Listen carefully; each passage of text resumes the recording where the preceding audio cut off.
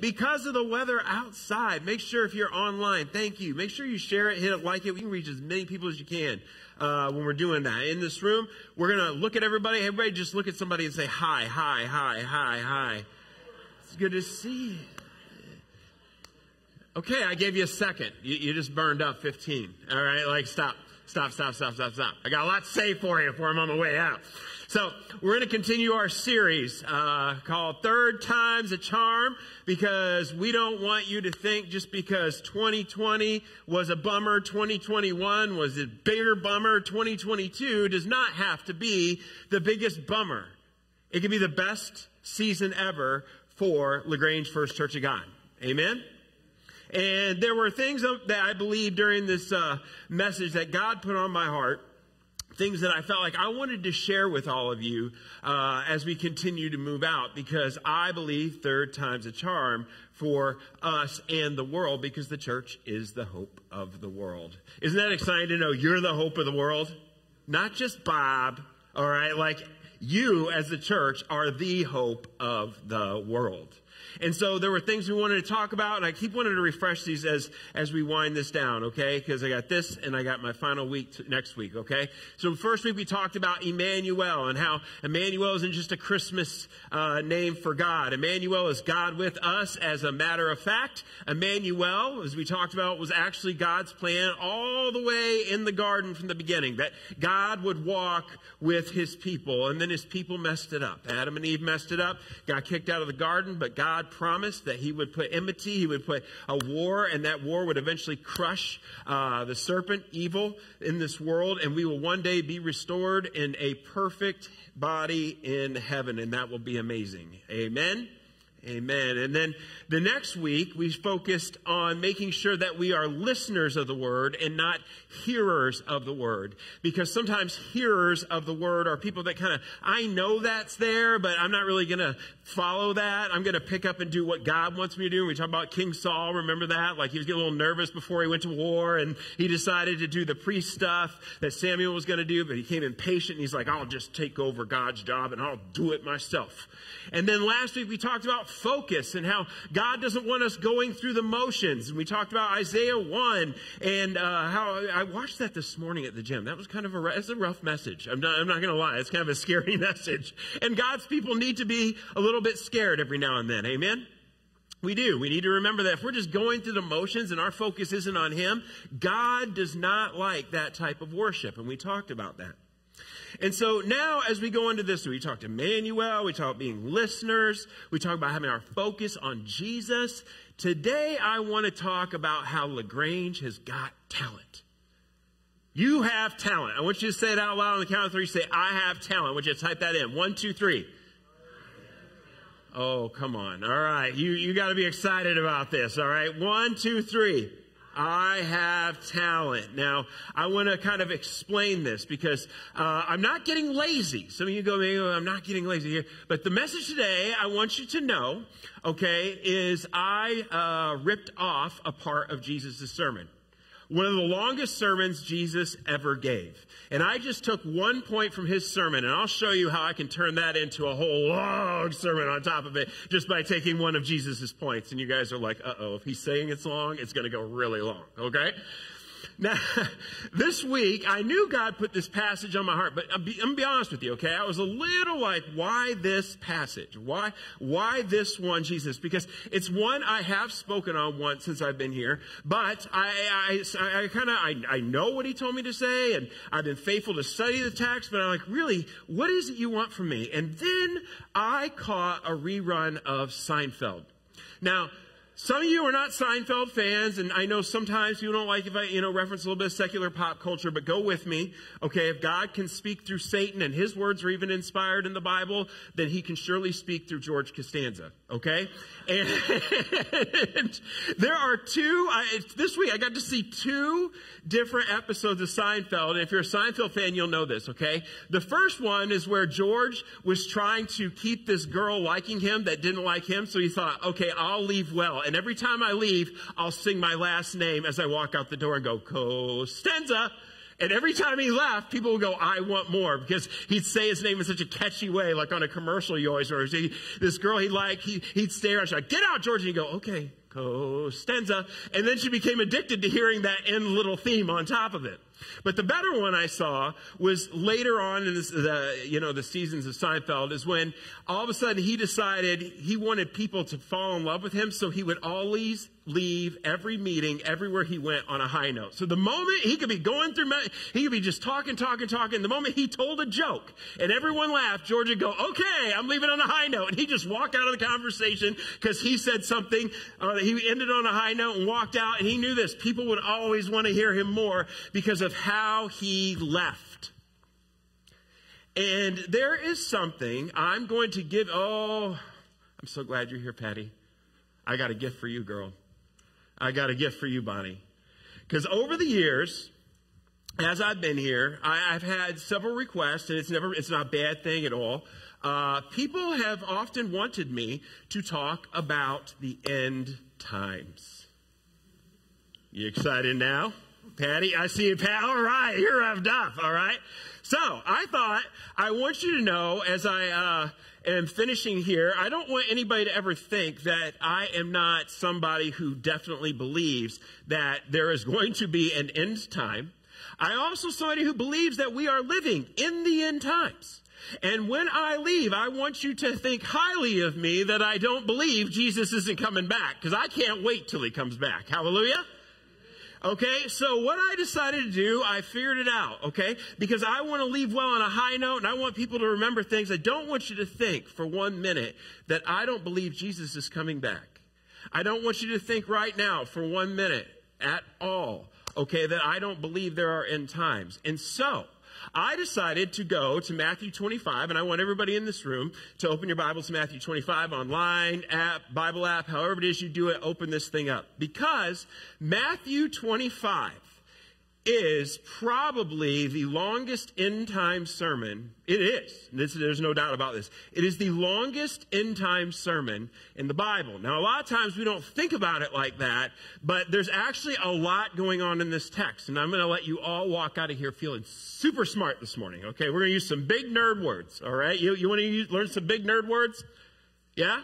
All right, here we go. All right, so in Matthew 25, understand the context, okay? So it's Holy Week. Jesus has come to the end of his ministry. He's, he's gone to Jerusalem to celebrate the Passover where he eventually will be betrayed. He will have a mock trial. He will be put on the cross to die for my sins, your sins, and all uh, those who he calls his church through all time. He died for our sins. All right. And this is the Passover week, the Holy Week that he came in. Now, he didn't just show up on the, uh, you know, on the day of the Passover to get crucified and all that stuff. That's not what happened. Okay. He came for the entire week and he came with his disciples. And as he rides in, we know, we're familiar with Palm Sunday, but a lot of times we don't talk about those few, you know, those few chapters in between. Now, after Jesus has been there, a couple days, he and the disciples, Jesus would go in and teach, and he and his disciples are walking out uh, two days before the Passover, okay? And they're walking out, and disciples are walking out just looking at Jerusalem, just like, wow, Jesus, this, this is just amazing. And then Jesus, like, sits down after the disciples are in awe of Jerusalem, okay? And they're just like, wow. And unlike uh, George Costanza or my desire to leave on a super high note and make everybody happy, Jesus lays out a very, very, very almost cryptic, scary chapter if we think about it. For those who do not believe in Jesus, or hopeful for all of us who can't wait for Jesus to come back. Amen? And so as he's sitting there and the disciples are caught up in, you know, the big city, all of a sudden they're like, wow, Jesus, look at all this. And then Jesus leads into one day, everything you see, Jerusalem and everything you're infatuated with about here on earth is going to be destroyed. And as he starts talking about how it's going to be destroyed and all these things, he starts to talk even more about how there is going to be, and this is the first big word I want you to, to think as we kind of navigate through this text, okay? He starts with something that we call eschatological. All right, you may have heard that word before. Eschatological is the study of end times. And so, for the first part of the chapter, he talks about the signs of what things are going to look like before the end has come. And he's very cautious about this. And he lays things out that if you read this, you will see that it's almost as if you could open Matthew 25, read the first part about these things are going to happen before the end to comes. And it's almost like you could match piece by piece at the beginning of the chapter. Go, yep, that's happening. Yep, that's happening. Yep, that's happening. Yep, that's happening. Yep, that's happening. And it should draw us as believers in right now. And then after he starts to tell him, these things will happen for the kingdom of God. Say that with me kingdom of God, all right, as it comes in. Then, after he lays out the fact that it's going to happen, this, this is what's going, it's going to look like, then he talks about how he will return and establish the kingdom of God. Now, as he talks about this, he then leads into the idea he will come back. So there's Advent, right? Advent season as we celebrate God coming to earth. But then he's going to start talking about a second Advent. Now, eschatology, okay, eschatological, eschatology is the, the study of the end, all right? Now we're talking about the second Advent when Jesus will return. And as Jesus starts talking at this second, we'll call it his first point of his sermon, like subpoint, all right, of his sermon, he talks about how he, no one knows when he's going to come back, but he's coming back. And then he starts talking about when he comes back, not everyone is going to get to go to heaven. And that's kind of a scary part of the sermon, too. It's like, you know, there'll be two people working out in the field, and all of a sudden one will be up, one will be down. He's giving this illustration about it. But it is not for us to know the time other than he's coming back. And then he goes into a parable. Now, in a parable, parable is a story that didn't necessarily happen. They are teaching. He's trying to make a point. So he gives a uh, this point about being ready for his return. I want you to say, be ready being ready for his return. we know he's going to return. This is what it's going to look like. You don't know the time but you better be ready when he comes. And so he tells this parable about 10 virgins and how these 10 virgins are going to go be married to the bride. Think about that as god's people uh, going to be married to jesus at some point. point and he talks about how half these women uh, came and they were ready. They had lamps okay? And it said half of these women put oil in their lamps because they didn't know he was going to come back. He may come back at night. We don't think about jesus coming back at night Except we know this Jesus is the light in the world, right? And we like to put light in dark places, so that feels pretty good to know we better be prepared. And if our mission is put light in dark places, then you're in a good spot to be prepared. Amen? Because it's the widows who put oil in their lamps that were ready because the master came back at night. But there were five others who were too lazy to put the oil in their lamps, and so they weren't ready for his return.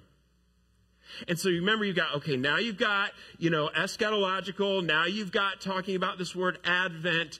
And now you're going to have kind of what we would call apocalyptic. Because apocalyptic is like the end of the world. Not the study of it, but it is apocalyptic and things are about to happen. And in this story, we will hear not just that he's coming back, we don't know, we need to be ready, but now in the parable we're going to study at this point, we are going to talk about what Jesus has an expectation for us to do and what we should look like on his return. And so we move in to a study we call the parable of the talents.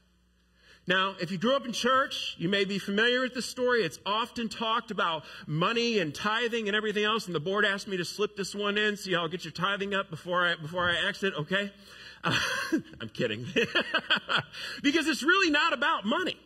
Okay? It's about being a steward of the good things God has given us because one day we will finally meet the judgment seat of Christ and He will look at us he will look at Bruce, he will look at Peter, he'll look at Mike, he'll look at Dwayne and say, What did you do with the talents I gave you? That's what this parable is about. So, what do you have? You have an apocalyptic, eschatological, Advent parable. How smart do you feel now? Like, this, this ain't a sermon on tithing. This ain't even a sermon about tithing at all. Get ready, okay? This is the type of text you're dealing with at this point because this is like his third point to his sermon, okay? He will judge the living and the dead by what we have been given here on earth. And he will use a, a word called talents. Now, I want us to just look at this at the very beginning, and I want us to just start reading in Matthew 25, verse 14. It says, and again, it. So he, the it, I'm sorry, throughout this whole sermon he's been giving is the kingdom of God. So again, the kingdom of God will be like a man who is going on a journey, who called his servants and he entrusted his wealth to them. To one he gave five bags of gold, to another two bags, and to uh, another one bag, each according to his ability. And then he went down on his journey. The man who had received five bags of gold went and at once put his money to work and he gave five more bags. So also, the one who has two bags of gold gained two more. But the one who had received one bag went off, dug a hole in the ground, and he hid his master's money. Now, most of your Bibles will not say bags of money, it will actually say talents. Now, there's nothing wrong with those two things because we think talent, you can in this text, it is okay to think about your talent as uh, your gifting. It's good to think about your talent as your money because all those things go together that God has given us things to help serve, to help follow Him in the kingdom of God. Now, also, why would it say not talents in this text, but bags of money? Now, a talent, a lot of times people think is a coin. it, it is not what it is. A talent is actually kind of a uh, measurement of money, if you will. Now, one talent today would be considered worth $1.4 million. Austin Powers, right? $1.4 million. And we need to understand that there's three people one who gets five talents, one who gets two talents, and one who gets one talent. But even the person who gets one talent gets $1.4 million. Pretty good, huh? And then understand this, all right? Because I want this is important. These, this word that really stuck out to me was he was in, he what? He entrusted them. Isn't it good to think about the fact that God entrusts you with talents, with gifts and abilities to do things? Now, there's one guy who's given, you know, five uh, talents or five bags of money. We, we sometimes tend to think, right? Like, well, he must have been the best. No, no, no, no, no, no. Not at all. What does it say? Each to his what? Own ability. He entrusted certain uh, talents to Dwayne. He entrusted certain talents to Lenoka. He entrusted certain talents to Gary based on their, uh, their own ability. God believed when he entrusted them that they would do something to further his kingdom based on the, the gifts, ability, or however he created them to finish out till he comes back. Second return of Jesus.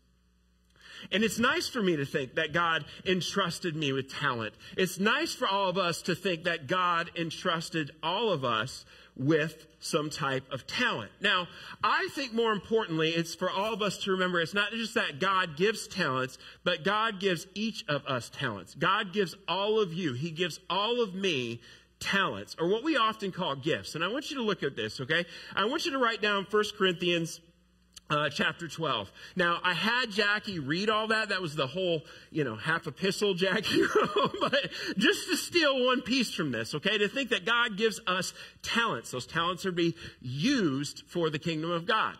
Now, this is just a little sub note of this to show you that. But what? There are different kinds of gifts, but the same Spirit distributes them. They are all different kinds of service, but the same Lord. There are different kinds of working, but in all of them and in everyone, it is the same God to work. God has given all of us, when we receive Jesus Christ as our Lord and Savior, His Holy Spirit. And with his Holy Spirit, who is God, and God means he is in us, gives all of us certain talents, okay, that have a supernatural ability. They are not something any of us could do on our own. They are gifts that has been just, you know, graciously bestowed on all of us. And all of us have different talents. We have been entrusted. I, I want you to say entrusted. Say it out loud. Entrusted. He said, I trust you, Elisa, to use these gifts before I leave. And so, as he is saying this, I want us to remember all of us have those same things, but they are not to be used for our personal gain. They are to be used for the body's personal gain. So each part of the body works together to edify Jesus Christ, to be a city shining on a hill that we shine so bright that people look at that city and they go, Who has a God like you? and praises him for that. This is what this apocalyptic, eschatological parable of an advent is starting to say. Okay? We have a master. The master walks away at some point, which means he's gone back to heaven. He gave each of us gifts. And then you see what? These three people, the guy who was given five, the guy who was given two, and the guy who was given one, okay, talent. You see them and how they respond to what they have been given by God. And so if you pick up in the text, okay, I need you to understand something, okay? Because I called this message LaGrange's Got Talent. Just like, you know, America's Got Talent. And I, I actually don't like those shows. I can honestly say I've never watched a single episode, not a single episode of American Idol because I just feel like literally if I know the Bible, I am watching a TV show about an idol. Okay?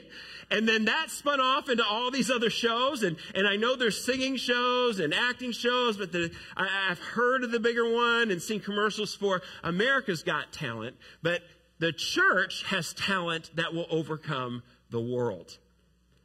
All right, yeah, you can clap for that because here's the deal, okay? They've got talent to entertain. The Lord gave us talent to shine. All right. And so all of us in LaGrange have that talent who have been redeemed by Jesus Christ. Now, the funny part of all this, all right, that I need you to understand is here's what's going to happen next. There are winners. And I want you to hear this. All right. There are winners of this talent show, if you will, in this parable. If you pick back up in Matthew 25 and verse 19, it says, After a long time, the master of those servants returned and he settled accounts with them.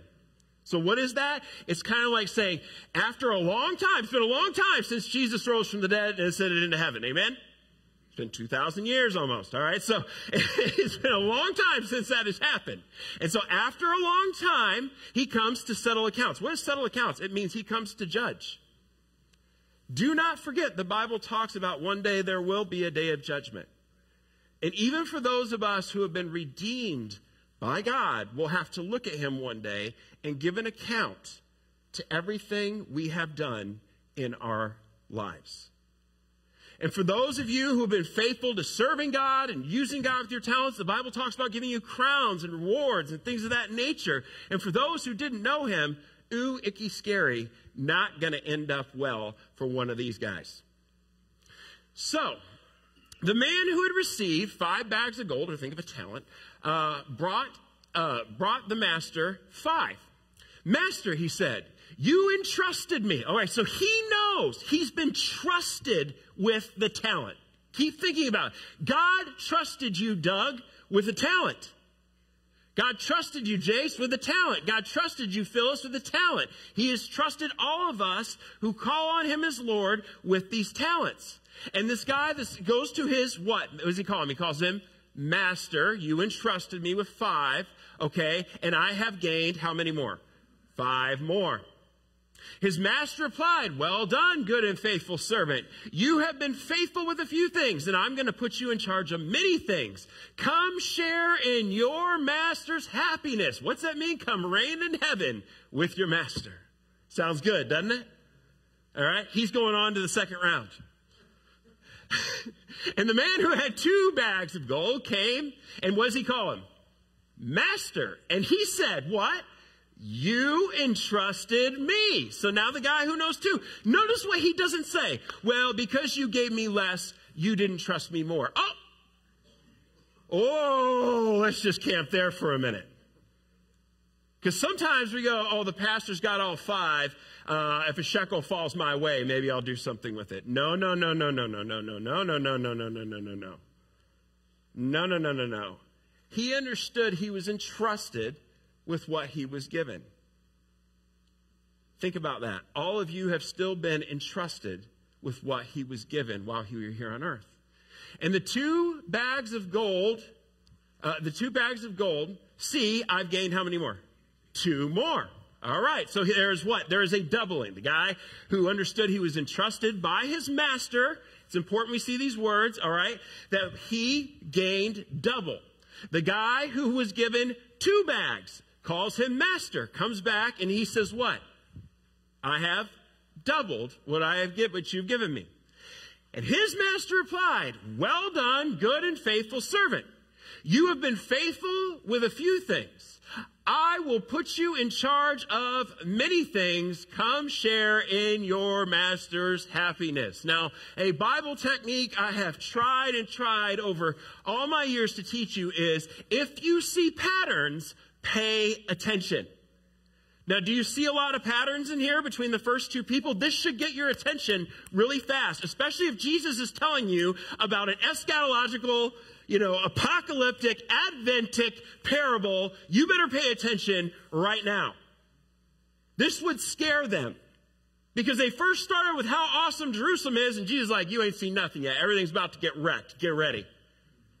And they go into this story and they hear, okay, one was given five, he doubled that amount, and you heard the exact same words spoken to the one with five, and you hear the exact same words spoken to the servant that had two. Both his reward and every single word after that. He says, Well done, good servant. You have been faithful with a few, and I will put you in charge of many. And he says again to the same guy, Come share in your master's happiness. You too have made it to the second round. but here's the hard part. Now, if there are winners, oh, can I just correct postmodernism now? Okay? sometimes there's winners, and sometimes there are losers. Because Jesus is not in the business of giving you a participation trophy. All right? This just does not fit, which also should have been at the beginning. You will know the end of the times is coming when people are giving out participation trophies, all right? it says, Then the man who received one bag of gold, get ready, master, so he's got that right word, it's repetitive, right? He said, and now he says, now we go off script, so this should uh oh, get ready. I knew that you're a hard man. You harvest where you have not sown and gathered where you have not scattered seed. So I was afraid and I went out and I put your gold in the ground. See, here is what belongs to you. What? Do you know what he's doing? Catch that. He is lying. He is lying. He is like my kid who gets caught with chocolate on their face. Just yesterday, Corbin, did you eat the whole blizzard? No. You know, chocolate everywhere. Can't stop running in circles. You know what I mean? Like, no, I didn't eat the whole blizzard. You know, chocolate on the face, sugar rush, crash. He didn't eat the, yes, he ate the whole blizzard. Now, why would he say something like this? Why would he talk about how harsh and mean he is? It's an excuse. It's an excuse to say, ooh, I didn't want to get in trouble. I didn't want to try because what if I, ooh, here it is. What if I failed? What if I lost? What if I tried and nothing worked? It's better off for me to just take what I was given and sit in the pew, and I'll just give it back to him when the master returns. We hear a whole different response. Matter of fact, we hear Simon Cowell's voice echoing through Jesus. All of a sudden, Jesus has a British voice. Wicked and faithful servant. So you knew that I harvest where I have not sown and gather where I have not scattered. Notice the question mark there? That's him rhetorically going, So you knew I was like this? Well, that should have inspired him more, really, is what's going on. That's what Jesus is saying. Well, if you knew I was so hard, James, and I was like this, then why didn't you do something? Because this is what he says. Well, then, you should have put my money on deposit with the bankers so that when I returned, I would have received it back with interest. $1.4 million and an interest rate of even 1% all the way back in Jerusalem would have yielded quite a harvest of money. 1.4 million today would yield quite a harvest of what? Money. So take the bag of gold from him and give it to the one who has 10 bags. For whoever has will be give, given more, and they will have an abundance. Whoever does not have, even when they have, they will, it will be taken from them. And throw that worthless servant outside into the darkness, where there will be what? Weeping and gnashing of teeth. So I want to ask you something, okay? All of us are, you know, uh, yes, amen, and hallelujah to all things in the Bible, right? I believe this, I believe that. It's the inspired word of God. Yes, I believe he's coming one day. Then all of us better ask ourselves this question right now What have you been doing with your talents? What have you been doing with your talents? When you look at Jesus Christ, what is he going to say? Now, the question I just kind of want to ask is we kind of tie this whole part up of the sermon, knowing that He is one day going to come and has and gives us these talents, this worth, this ability. Notice what He does without even saying it. He respects what? A return on His investment. He expects that. And those who are rewarded doubled the talents. If you looked at your line of ministry throughout life, have you doubled yourself? Have you been obedient to the Great Commission? Jesus' command to go make disciples of all nations, to baptize them in the name of the Father, Son, Holy Spirit, to teach them everything He taught unto them, and lo, He will be with you always to the end of days. Our sole job as all believers in Jesus Christ is to make disciples that make disciples that make disciples that makes disciples. You are a living inheritance of that command that Jesus gave 2,000 years ago. You know that? You've inherited that, uh, that promise and that command from Jesus to go do that. And one day, all of us are going to look to Him.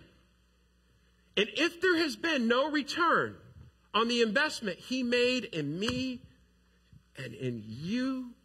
And you said, you know what? Jesus, I heard some things about you. And so I decided to play it safe. I decided to sit. What does he say? Throw away the worthless servant outside where there'll be weeping and gnashing of teeth. Does that mean you can go to hell. I know some people think I've been progressive and out of the box over the years, but let me assure you of this. I believe in a heaven and a hell. I believe in eternal life. I believe that Jesus Christ is the only way. I believe we are saved by grace through faith in Christ alone that he did all the work for all of us when he died on that cross and rose from the dead. He gave us the most powerful weapon we could have in the Holy Spirit, his presence of God manifesting through us. And sometimes we don't use the talents, not because we, we don't care.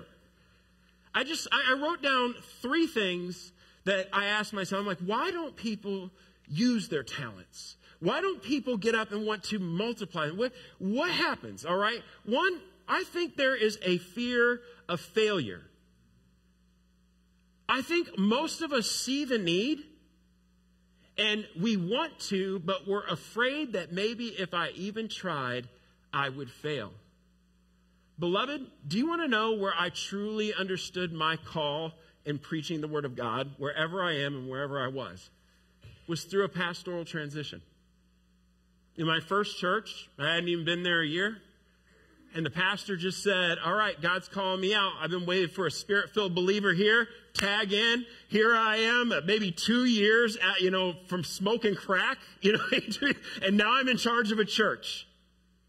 And there were a lot of things along the way where I could have said, I'm not good enough. I'm going to sit here. Because it's a big deal from playing with the youth on Wednesday nights. All of a sudden, now I got to get up and preach to this church on Sunday morning. I'll tell you what, beloved, Nathan is knocking in the knees to know that next month he's got to do this every Sunday. So all y'all just start smacking him on the back and start encouraging that young, you do, I'm serious, all right? Start praying for these people who will be speaking because I'm going to tell you, like, it's a gift. It's something special. It's something you need the supernatural, not my abilities, all right? But, but his and what he's given me. Now let me tell you this. I was dumb at 23. I had no fear of failure. I was in Bible college. I knew everything. All right. It was just like I knew everything about parenting before I had kids. I knew every, everything about pastoring and preaching until I had to get up and do it every single Sunday. And I thought every idea I had was just awesome and endorsed by God. Whether I was throwing cigarettes in the offering plate to make money, or to it would make a point. Whether I flipped over an entire tear of china, I cut all my clothes off one Sunday morning down to my boxers. Yes, I did. I was much thinner, much more confident my physical build. It was okay. I started a contained fire in a room a quarter this size with the fire marshal in our church. Not happy. I knew Jesus flipped tables. And so you know what I did? One night in an elder meeting, I didn't like what they were doing, so I flipped the table. In all those things, some were probably right, some were probably wrong. But you know what? You learn from your mistakes and you keep moving. One of the best times to stand up is when you don't know what you're doing. Brothers and sisters, it is for all of you in this room and for everyone online. Please, please, please, please, please know this. Please. The light of the world is in you. The Bible says you have everything you need in Christ Jesus. You have been given talents, and the Lord expects every one of you to stand up and multiply them now more than ever. And you know, if you're afraid to get up and try, then you failed from the beginning. There's no failure in stepping forward and realizing, I don't know if I can do this. As a matter of fact, that's right where you're supposed to be. Is when you don't know what to do, so you have to walk in faith in the process. So don't let the fear of failure hold you back. Oh, and this one, I'm too busy. I'm too busy. And so, for all of us who are too busy, you guys are like, now you won't be preaching. You'll find out how, how too busy you are to serve in the church, too bad. Let's come talk to you in a few months from now. No, all right? We're too busy. And so, what does God gift? What, what, what does God get in return? He doesn't get double of what we have, He gets the leftovers. He gets the left. You know, I hear a terrifying statistic. One quarter of the people that were engaged in church before coronavirus have never been seen, seen again by the church. They just fell. One quarter. Because they were never engaged to begin with in the process. Think about that. 25% of the capital C church just disappeared because of coronavirus. So it's going to be up on everyone to stand up and shine. But if you try to tell the Lord you're too busy when He's come to reconcile His account, what do you think He's going to say? You go yeah, you go, what are you going to do? Regift Him? we had some friends, some people that uh, I discipled for years back come up two weeks ago. And right before they got there, okay, they called and they were like, what, uh, they're actually Corbin's godparents, okay? They just came the week after Christmas to visit. And they called and they're like, hey, we want to get the kids presents. What do they like? And I'm like, you, you know, the kids, don't, don't video. Oh, no, they were, they were just ready to lavish gifts upon my kids. And I called Kristen. I'm like, we already blew our money for Christmas. I'm not having a job. Now I got to get all these presents for their kid and I don't know what to do. And I said, Kristen, hold on. Remember when Corbin got two of the exact same punching bags last year? We've still got a brand new one out in the garage. We'll just give him that. And when they walked in and we sat down and we, we, we got, you know, we got conversation flowing, kept up, uh, you know, our, all three, our two kids and their kids, they knew it was Christmas. Oh man, you know what Nathan, his name's Nathan, all right? you know what Nathan got my son? An unlimited pass on Nintendo DS. That's worth a fortune. And then they got Reagan every girly thing you could get under the sun, things we don't want her to have, like makeup. And then it came time for Sweet Pax, Paxton, their son, to open her gift. And it was clear it was regifted. Now, I tried to hold my chin up and be like, no, this is the best gift ever because Corbin really likes his punching bag. This is true. And I, I wasn't going to tell them it was regifted. I was just still a gift, right? I mean, come on. It's still a gift. I'm still giving him a talent. And do you know what happened? I kid you not. Reagan says, Oh, good. We gave him the other punching bag Corbin got last Christmas. You think you're going to hide something from God? Seriously. I was too busy. I helped out at a VBS 17 years ago. One time, I think I went to an upward event, went to one women's Bible study. I gave some money, God. It's okay. And he's going to be like, that is not what I called you to do whatsoever. You were too busy on focusing what the world was as the Lord. You were too busy not using your talents. And you were too busy at twisting them for your own gain. I don't want to look at Jesus Christ at the end, bow down, and say, I was too busy. I don't want to do that. I don't want to say I was too busy to get you anything. I was too busy. I wasn't a good steward enough of my money. And so I'm just going to try to regift you something. That's the same as this guy. And finally, a lot of us say, I just didn't know. I didn't know it was going to be this serious. I didn't know it was going to be this hard. Because a lot of us, what do we do? We pick passages of scripture and we say, Yes, I believe in this. And we pray, Yes, I believe it's not. all of us are yes and amen. We're like, Jesus' return. Yeah, but put in this context, this ought to concern everyone in this room. Because even like we talked about last week with focus, if you just go through the motions, right, in worship and God looks at you and he's like, I'm not going to answer your prayers. Your worship is, it nauseates me. Just stop doing it. Okay. You're better off not doing it at all than if you're just going through the motions. This does not make God happy. Those are people who hear and don't listen. Those are people who don't focus on Emmanuel with them as they go about using what God has given all of us to glorify Him and to be reconciled at the end of the day. We say, I didn't know. I didn't know it was going to be that harsh. Isn't He a God of love? Isn't He a God of grace? Yes, He is. He's a God of love who started by giving humanity Himself in the garden. It was all good. And then when they messed it up, we, He didn't mess it up. We messed it up. And you say, God's not loving and graceful. I say, well, what are you talking about? He's pretty loving and graceful. He said, You messed it up, but I will provide a way. I'm the way. I'm not I. Jesus is the way. I. The truth and the life, and no one will come to the Father except through me. He is loving. He is graceful, but he does have expectations. That LaGrange, you got talent. And now's the time for everyone in this room to step up and use your gifts at a whole new level. Bob, new time. I know you're retiring 55 plus. We're going to find something else for you. All right, I'm going to throw you in. I'm going to write some recommendations to the board, whether they like it or not. Like put Bob at even bigger responsibility. All right, like he expects it to the end. If we truly believed that, if we truly believed he was coming back, that he entrusted us with this talents, he expects them to be multiplied, isn't this a great time for every one of you to stand up and serve? This is a great time for every single one of you to get up and use your talents. This is your time to break the limitations and the molds of the idea that, that you have to have one senior pastor. No, I see hundreds, thousands online yet have what? Talents and gifts. Maybe, just maybe.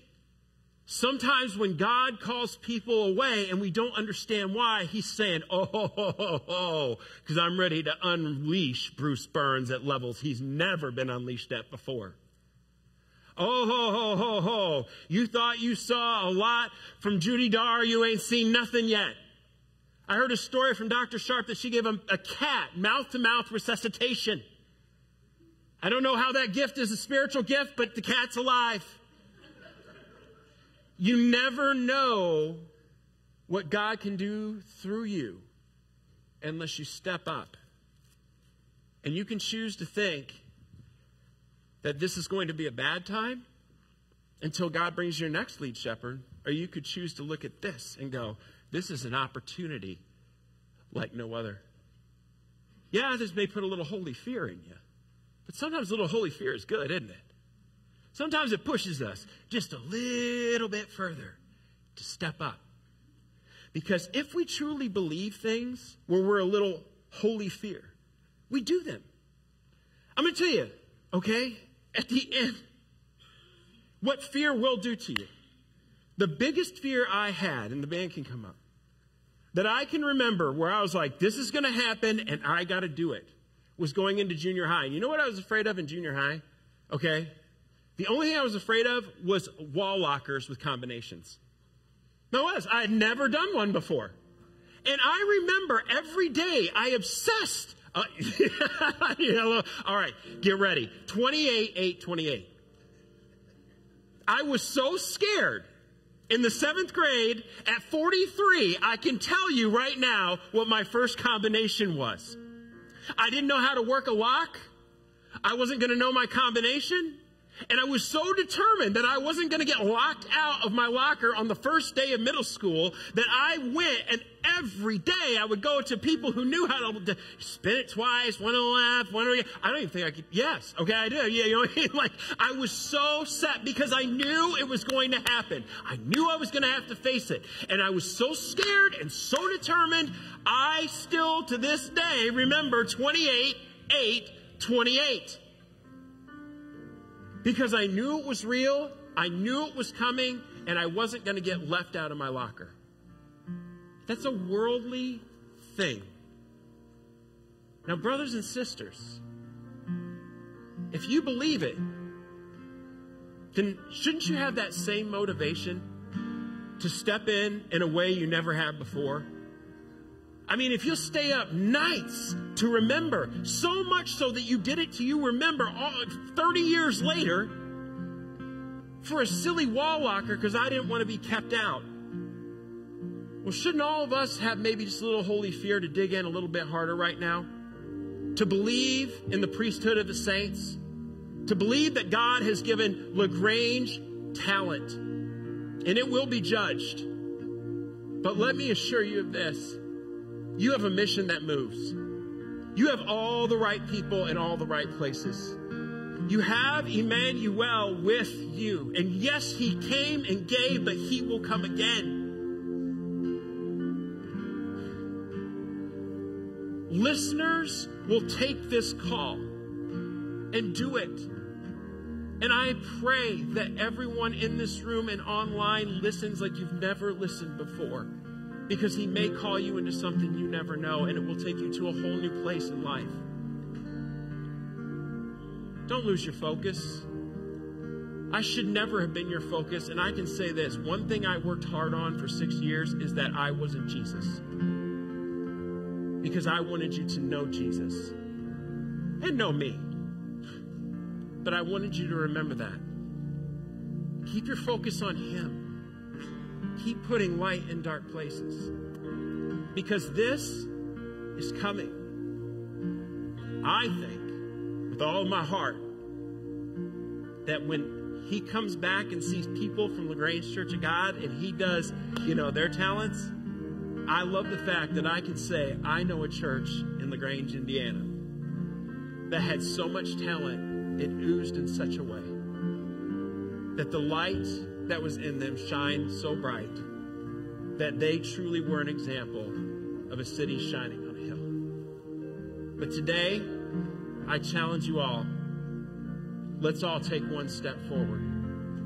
Let's believe that the Spirit of God is in me, and He's in you, and He's in you online. All of us who choose to call on Him as Savior, now's the time to step up bigger than you've ever stepped up before. And it's not because you have to, because you get to. Because God trusts you, Lanoka. God trusts you, Patty. He trusts you, Kathy. He trusts you, Jane Knoll, to keep moving. He's entrusted all this to all of you. I believe so long as you follow Emmanuel, so long as you keep your focus, so long as you listen, and so long as you're a good steward of your talents, the best is yet to come. So, my question for you this morning is Are you willing to get on stage and try? Not this stage. Are you willing to step up? Are you willing to try your talents? Do you believe this is going to happen? Just put a little fire under you. This doesn't have to be the end. This can be the next chapter of a story that's never been heard before. Let me pray. Almighty God, I can't help but say thank you. I just, I look at all these faces. Thank you.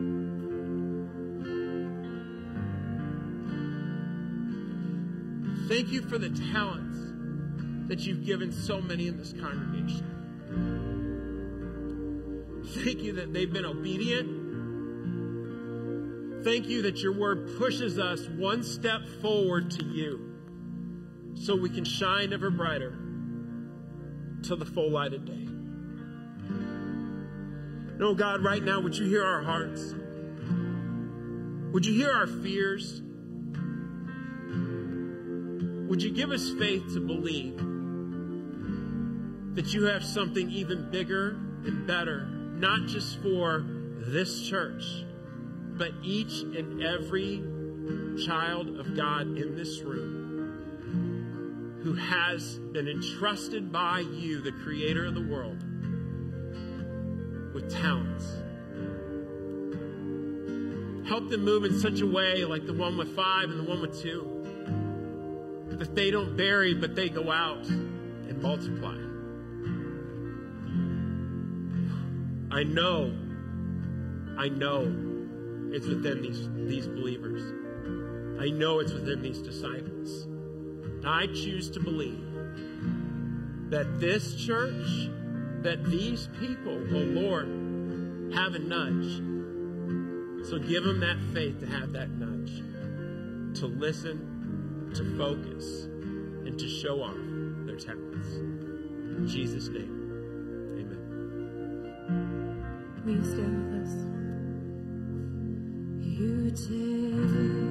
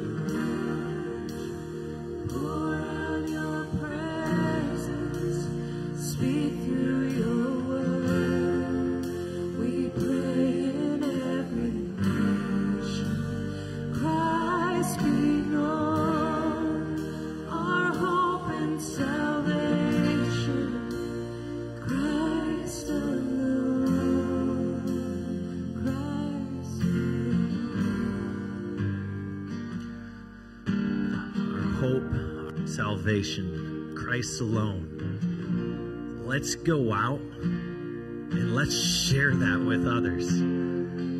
Let's let's use the talents, these gifts that God has given within us. Let's not leave these things on the table. God wants to use you today. Not this sounds like a great idea. Yeah, this is great, Pastor Ben. No, let's let's walk out these doors Let's be changed and let's impact lives and let's use these gifts that God has given each and every one of you and you too online. Let's pray. Father God, thank you so much. Thank you so much for this reminder. God, you've given us each all very different looking talents and gifts that we are supposed to use to glorify you, Father. Let us do that. Let us do that when we walk out of here. Let us shine your light. Let us put light in dark places. Lord, let don't let busyness get in the way. Don't let other things, distractions, God. Let our eyes just be fixed on you and your kingdom, Lord. Love you. We love you, Lord. Thank you for this church family. thank you for this body as we move forward. And all God's people said, Amen. Let's raise our hands and receive the blessing today. May the Lord bless you and keep you. May the Lord make his face shine down upon you and be gracious to you. And the Lord turn his face towards you and give you his peace. Let's go and shine our light today.